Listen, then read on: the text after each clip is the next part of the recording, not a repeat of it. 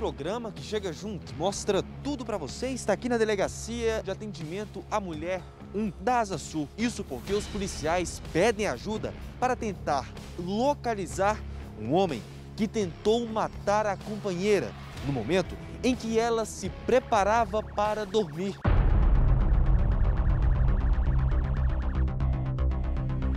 Kleberson Santiago dos Santos, no dia 7 de fevereiro, última segunda-feira, esperou a esposa sair.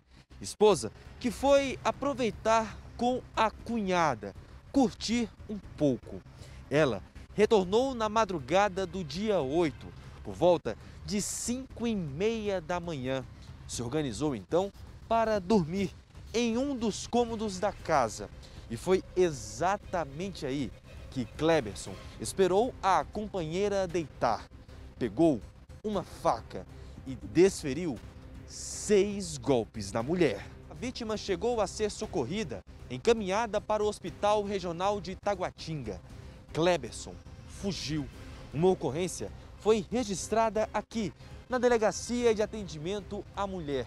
Os policiais começaram a investigar esse crime e agora estão à procura de Kleberson, a vítima que ficou gravemente ferida por conta das facadas, segue internada.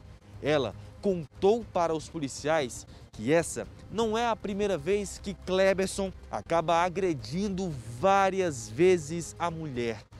Tudo por ciúmes. Ele, que sempre se demonstrou um homem bastante ciumento e também possessivo. Agora, a Polícia Civil do Distrito Federal pede ajuda para localizar Kleberson.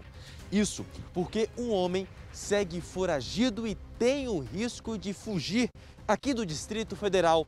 Além disso, ele também pode voltar para terminar o serviço e matar a atual companheira. DF Alerta, 10 anos na TV, jogando a real para você.